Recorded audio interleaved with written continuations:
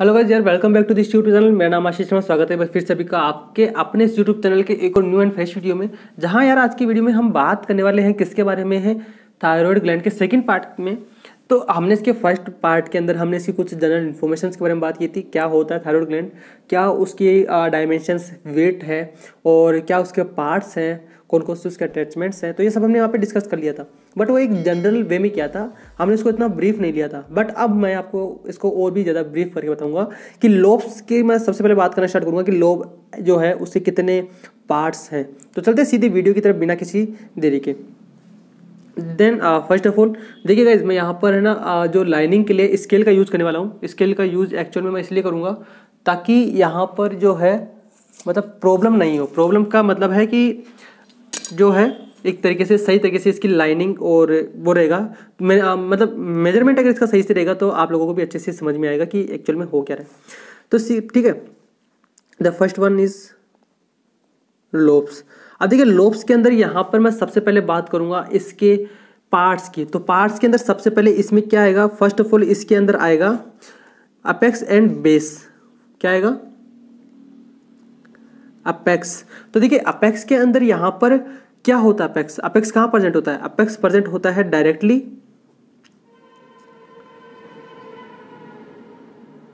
कहां पे प्रेजेंट होता है directly upward and slightly laterally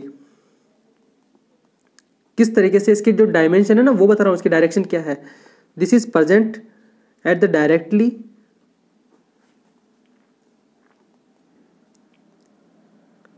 upward and slightly L A T E R A double L Y laterally ठीक है यहाँ पे इसका जो मैं बात करूँ किस चीज़ की यहाँ पर इसकी बात करूँगा मैं अटैचमेंट किससे होता है तो this is the limited seriously superiorly attached by the thyroid muscle to the oblique line of thyroid cartilage okay limited superiorly by attachment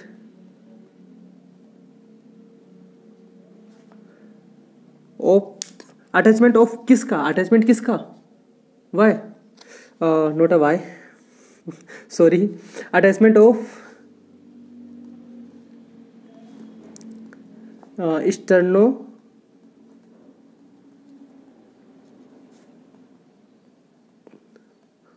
sternothyroid muscles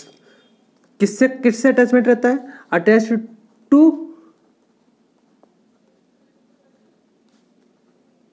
oblique line of thyroid cartilage okay ये हो गया इसका एक portion की limited superior by attachment of sternothyroid muscles to the oblique line of thyroid cartilage तो इस वाली पूरी लाइन को ध्यान रखिएगा आप ये लाइन पूरी इंपॉर्टेंट है इसीलिए मैंने यहाँ पे पूरी लाइन लिखवाई है और ये एक जिसका अपेक्स पोर्शन है ये यहाँ पे कैसे बिहेव करता है this is behave like a sandwich okay and sandwich किस किस का sandwich between the inferior constrictor constrictor and sternothyroid muscles का क्योंकि अपवर्ड ये क्या कर सकता है एस्टेंस जो अपवर्ड के अंदर मतलब ऊपर की साइड में है ये वहाँ पे और ज़्यादा बढ़ नहीं सकता देखिए मैं बताऊँ किस तरीके से होता है मान लीजिए ये एक अपेक्स का जो है लोब्स का एक अपेक्स है ये अपेक्स मान लीजिए लोब्स का अपेक्स ऐसे है ठीक है तो यहाँ पे इसके अंदर सैंडविच का मतलब ये है कि यहाँ पे मान लीजिए आ गई इन्फीरियर कॉन्स्ट्रिक्टर और आ गई यहाँ पे thyroid muscles inferior constrictor thyroid muscles आ गई तो यहाँ पे एक्चुअल में क्या होगा ये जो इसका अपेक्स का पार्ट है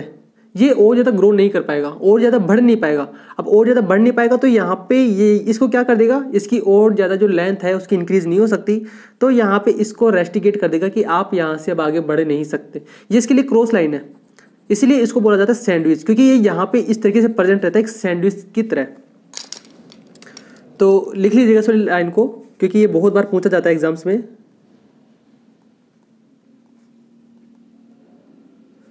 sandwich sandwich between inferior constrictor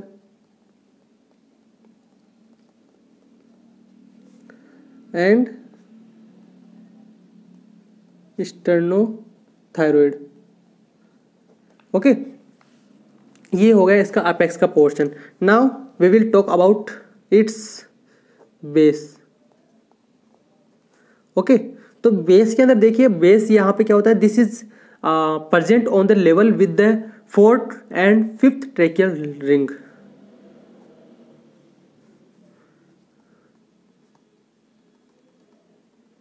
on level with fourth और फिफ्थ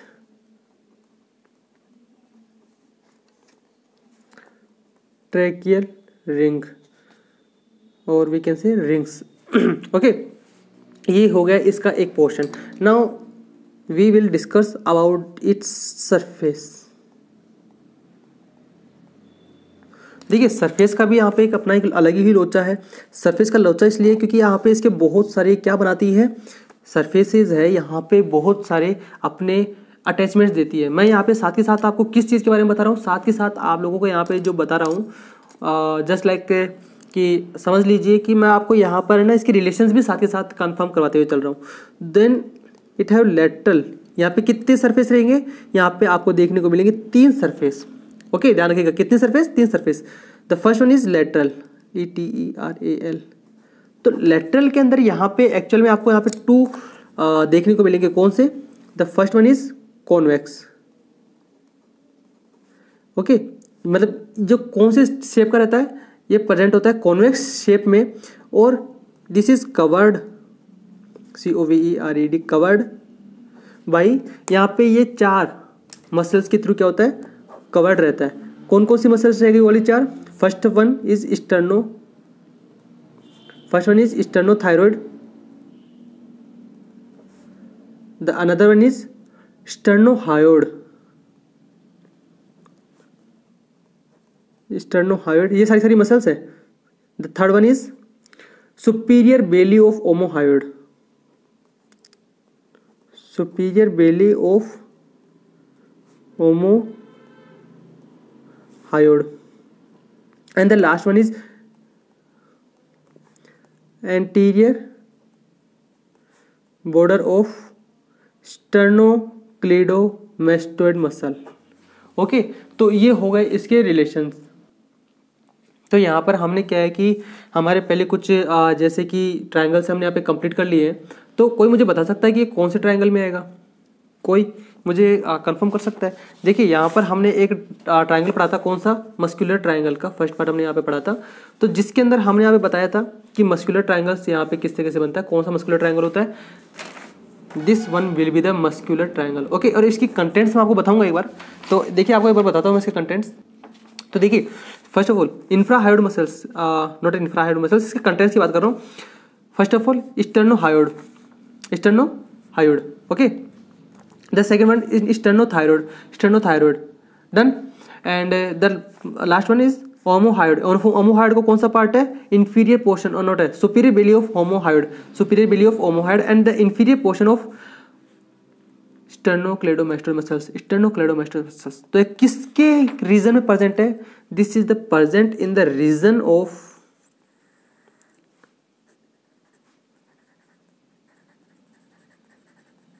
muscular triangle ठीक है यहाँ पे मस्कुलर ट्रायंगल रहेगा और मैंने आपको यहाँ पे याद हो तो बताया था कि इसके स्ट्रक्चर्स के अंदर यहाँ पे कौन प्रेजेंट रहेगा थायराइड ग्लैंड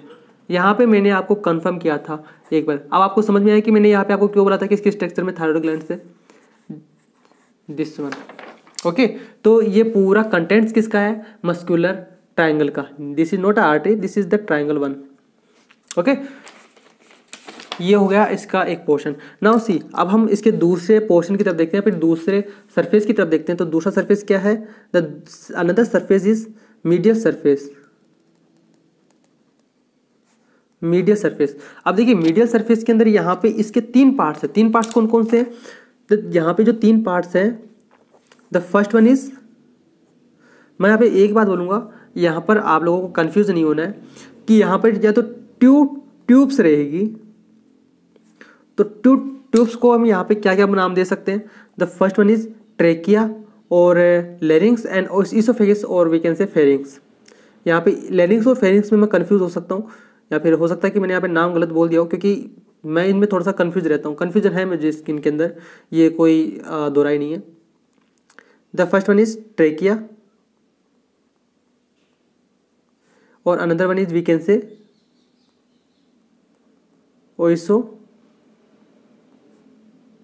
oesophagus okay तो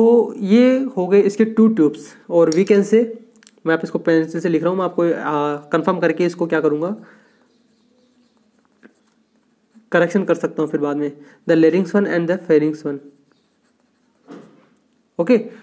अब यहाँ पे टू मसल्स भी रहेगी मीडियल सरफेस में यहाँ पे किस किस का क्या क्या पोर्शन देखने को मिल रहा है हम मैं साथ में आपको यहाँ पे क्या लिखवा रहा हूँ इसकी रिलेशन भी लिखवा रहा हूँ तो यहाँ पे टू मसल्स का रिलेशन आपको देखने को मिलेगा टू मसल्स टू मसल्स कौन कौन सी है the two muscles is the first one is inferior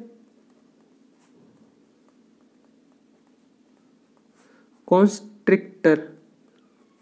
and the another one is uh, cricothyroid muscle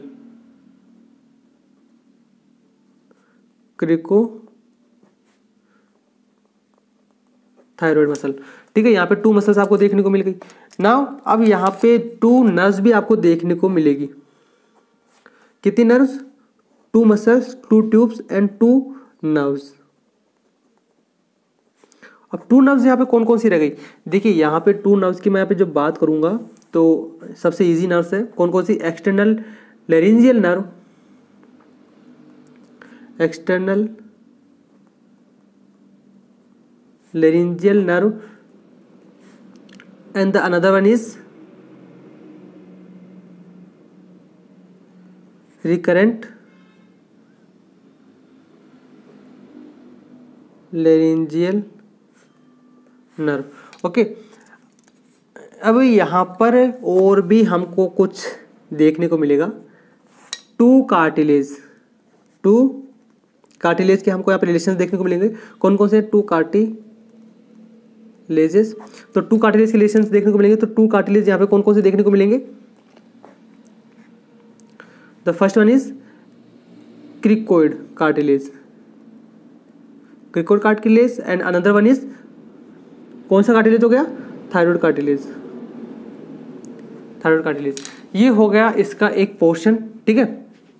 अब आप लोगों को मैं यहाँ पे एक छोटी सी बात बता दूँ इम्पोर्टेंट है इम्पोर्टेंट ऐसे है कि यहाँ पे क्या होता है कि एक्चुअल के अंदर जो वेस्कुलर अनास्टोमोसिस होता है ना वो कौन से आ,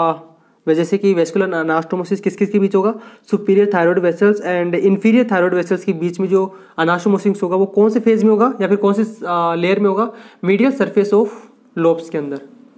ठीक है लोब्स की मीडियल सरफेस के अंदर आपको यहाँ पे इनके अनास्टोमोसिस देखने को मिलेंगे और लेटरल को यहाँ पे हम anterior letter anterolateral portions भी एंटीरियो लेटरल सरफेस भी बोल सकते हैं ये हो गया इसका कौन सा पोर्शन मीडियल सरफेस पोर्शन ना अब यहाँ पे हमको इसमें दूसरा एक पेज जोड़ना पड़ेगा रीज़न है कि यहाँ पे इसमें इतना स्पेस ना होना तो यहाँ पे देखिए फटाफट हम यहाँ पे इसकी एक और लाइन क्लियर कर देते हैं ओके तो हमने इस पेज को अलग कर दिया फिलहाल ना सी अब यहाँ पर इसका एक और सरफेस है सरफेस कौन सी है वो है posterior surface P O S T E R I O L posterior और we can say posterolateral surface तो पोस्टीरियर जो लेटरल सरफेस है वो है एंटीरियर लेटरल है और ये पोस्टीरियर या पोस्टीरियो लेटरल सरफेस है ओके okay, अब यहाँ पे आप लोगों को एक चीज़ का सबसे ज़्यादा इंपॉर्टेंट ध्यान रखना है कि मीडियल सरफेस और पोस्टीरियर सरफेस के बीच में यहाँ पे क्या प्रेजेंट होता है this is separated by a posterior border okay and जब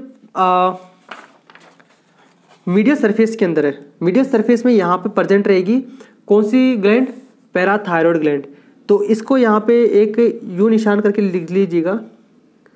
presence presence of parathyroid gland okay presence of parathyroid gland यहाँ पे आपको ये नोट कर लेना क्योंकि यहाँ पे इसी के अंदर प्रेजेंस रहेगी पैराथायरॉयड ग्लैंड यहाँ पे हम इसके बारे में बाद में डिस्कस करेंगे क्योंकि इसकी भी एक कंप्लीटली अनाटमी आएगी नाउ सी यहाँ पे क्या है किस किस के यहाँ पे रिलेशन देखने को मिलेंगे देखिएगा inferior jugular vein we can say internal jugular vein और overlaps common carotid artery overlap करती हुई overlaps, common carotid artery, and the another one is uh, cervical sympathetic chain.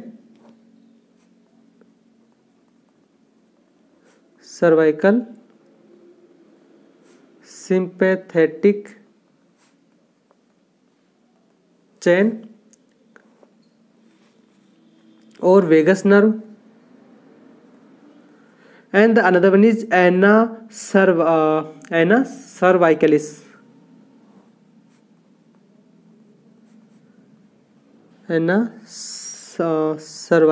uh,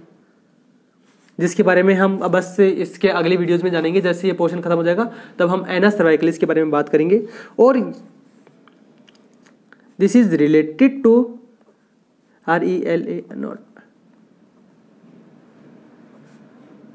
related to carotid sheath and parathyroid gland related to to parathyroid gland and carotid sheath okay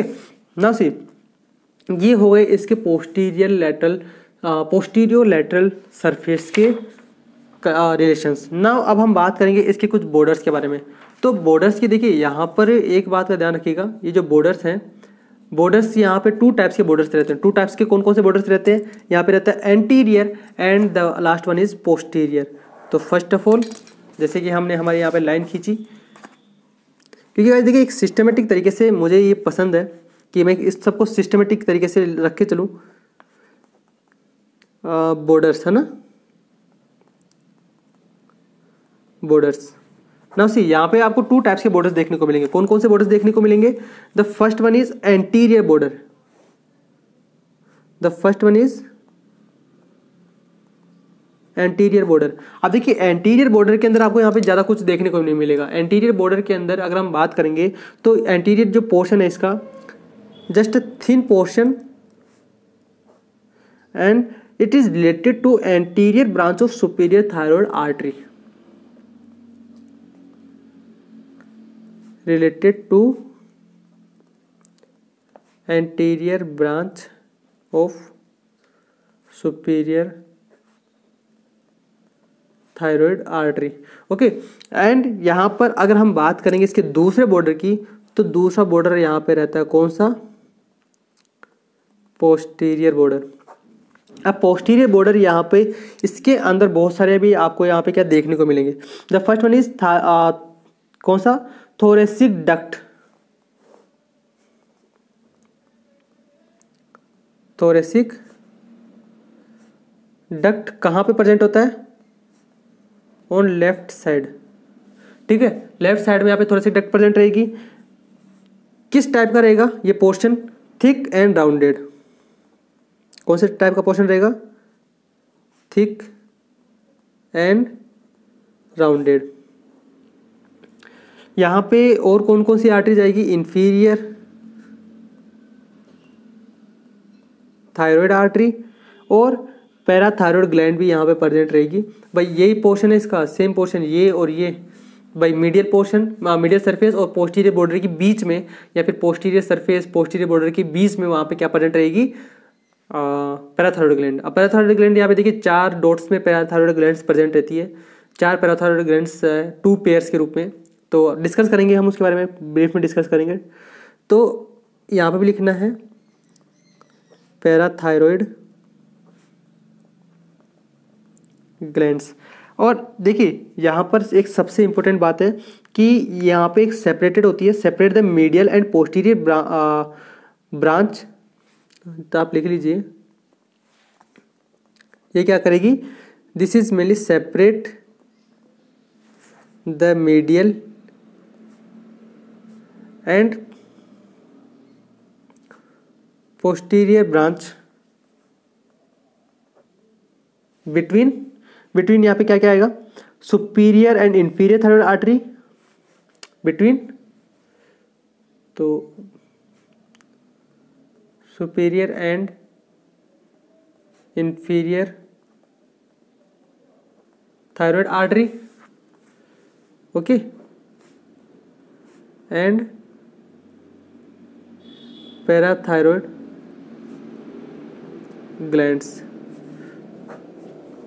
तो यहाँ पे जो separation होगा separation किस किस का medial and posterior branch का किस किस के बीच में से सेपरेशन होगा यहाँ पे सेपरेशन होगा superior and inferior thyroid artery and parathyroid glands का तो अगर यहाँ पे अगर मैं बात करूँगा ना इस वाले पोर्शन की यहाँ पे जो लिया है किसका नाम superior and inferior thyroid artery की तो यहाँ पे इसका क्या देखने को मिलेगा अनास्टोमोसिंग अनास्टोमोसिस यहाँ पे हमको देखने को मिलेगा एंड यहाँ पे क्या होता है ये एक पिरामिडल पिरामिडल शेप में भी हो सकता है एंड पिरामिडल शेप में भी हो सकता है इसका एक्सटेंशन जो होगा उसको को, आ, उसको किस नाम से बोला जा सकता है tubercle of Zuckerkandl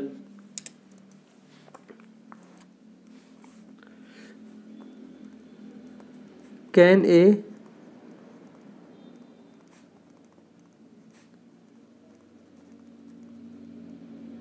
can a pyramidal shape shaped extension extension also known as क्या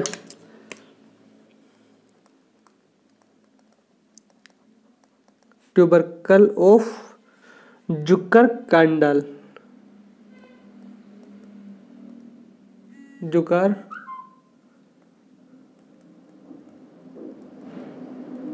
Zuckerkandl okay तो ये हो गए इसके कंप्लीट पोर्शंस जो हमने बात की थी यहाँ पे लोब्स की कि लोब्स किस तरीके से यहाँ पे शो होंगे तो देखिए यहाँ पर आ, मैंने आपको बताया कि अपेक्स बेस थ्री सरफेस और यहाँ पे आपको देखने को मिलेगा टू बॉर्डर्स ठीक है तो अब यहाँ पे लेटर जो अपेक्स की मैंने बात करी कहाँ पे slightly upward and slightly laterally यहाँ पे प्रेजेंट रहेगा limited by attachment of sternothyroid muscles on the oblique line of thyroid muscles and sandwich between the inferior constrictor and sternal thyroid muscles sandwich कैसे बनता है ऐसे बनता है जैसे कि आगे इसका जो है मतलब ग्रोथ है इसकी बढ़ ना पाए मतलब आगे ये और ज़्यादा फैल ना पाए बेस यहाँ पे होता है on the level which is the present on the fourth और the fifth tracheal rings lateral के यहाँ पे कॉन्वेक्स शेप होता है कवर्ड बाई मस्कुलर आर्टरी का मस्कुलर ट्रायंगल का क्या कंटेंट देख लीजिए सारा मस्कुलर ट्रायंगल का कंटेंट है मसल्स अगर मीडियल सरफेस की बात करेंगे तो मीडियल सरफेस में यहाँ पे सारे सारे टू टू है बस two tubes two muscles two nerves and two cartilage two tubes tracheoesophagus two muscles inferior constrictor and cricothyroid two nerves external laryngeal nerve and recurrent laryngeal nerve and two cartilage which is known as cricoid and thyroid the another one is posterior lateral which is have some kinds of relation and the another one is the two borders which is known as anterior and posterior anterior have the relations of the superior thyroid artery but posterior have so many types of relations uh, to another parts of thyroid glands जैसे कि थोरसिक duct हो गई thoracic duct हो गई inferior thyroid artery and parathyroid glands and also have a tubercle which is known as Zuckerkandl okay guys तो ये होगा इसका पूरा पोर्शन आई होप आपको यहाँ पे वीडियो पूरा समझ में आया होगा तो प्लीज़ गाइज अगर आपको वीडियो पूरा सही से समझ में आया आपको वीडियो अच्छा लगा तो प्लीज़ इस वीडियो को लाइक और शेयर करना ना बोले और आप अगर इस चैनल के ऊपर नहीं तो चैनल को सब्सक्राइब कर लीजिएगा एडुलेशन के ऐप को डाउनलोड कर लीजिए वहाँ पे एक्चुअल में कुछ प्रॉब्लम्स चल रही है उसके अपडेट को लेके क्योंकि वहाँ पे प्राइवेसी पॉलिसीज में चेंजेस हो चुके हैं तो मेरे ऐप्स को कंटिन्यूसली तीन बार रिजेक्ट किया जा चुका है उसको अपलोड करने की कोशिश कर रहा हूँ बट वहाँ पे वो अपलोड हो नहीं पा रहा है तो ये कुछ ऐसी प्रॉब्लम्स चल रही है तो गाइज आई होप आप लोग इस कंडीशन को समझ सकते हो मिलेंगे फिर से अगले वीडियो में कुछ न्यू एंड बेस्ट इन्फॉर्मेशन के साथ तब तक के लिए जय हिंद वंदे मातरम